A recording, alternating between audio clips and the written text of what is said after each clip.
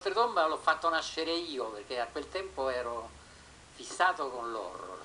Infatti mi ricordo che mi, è nato dal fatto che mi ricordavo che quando c'erano i tedeschi a Roma, 1944, io avevo 11 anni e c'era il coprifuoco e passai l'inverno, siccome alle 4 bisognava stare a casa a leggere Poe e da allora ne è rimasta questa fissa dell'horror e ho coltivato a lungo, poi improvvisamente adesso non lo farei mai assolutamente, ho coltivato a lungo questa passione per l'horror fino a che mi sono scritto questa Amanti d'oltretomba. Ho convinto mio padre a farlo, però mio padre non aveva una lira e infatti io lo volevo fare in eh, bianco, nero e rosso. Mio padre fece uno studio e si accorse che costava un mare di soldi, che bisogna fare delle sottrazioni di colore, insomma, e allora niente, lo facemmo in bianco e nero. E niente, era stata la mia passione per l'horror, che poi non so come mi è passata di colpo.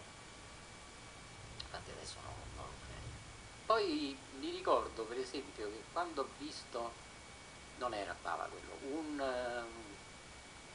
um, uno di vampiri, che non mi ricordo qual era, deve essere uno di quelli Hammer. Chi era che faceva questi film americani di serie B dell'Hammer?